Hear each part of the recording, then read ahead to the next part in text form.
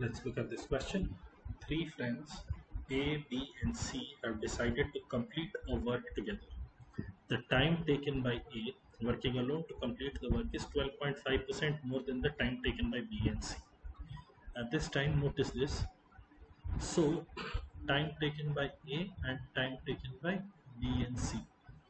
Because 12.5%, hopefully you can recognize that 1 by 8 so the efficiency of A is 8 and B and C is 9. In ratio terms, efficiency of A is 8 and efficiency of B and C is 9.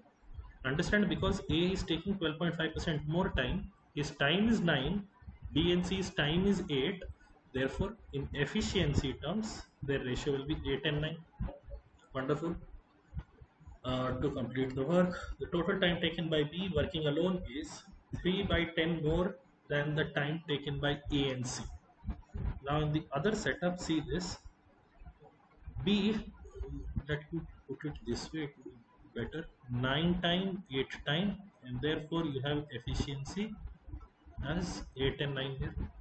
For B and A plus C, time, I'm saying if B takes, uh, if A and C takes 7 time, B will take 10 time, therefore efficiency of A plus C is 10 and efficiency of B is 7.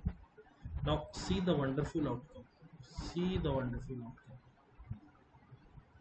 In both these cases, total efficiency of A, B, C is turning out to be equal. If in both these cases efficiency of A, B, C is turning out to be equal, I know A to be 8, B to be 7 and C to be 2. At this time itself, I know their individual efficiencies. Okay. If C alone, if C working alone takes 63 days to complete the work. So total work will now be 2 into 63 or 126. Find the time taken by all three of them together to complete the work. So time taken would be 126 divided by 70 which is equal to 7 whole 7 by 70. The answer to the question will be option A.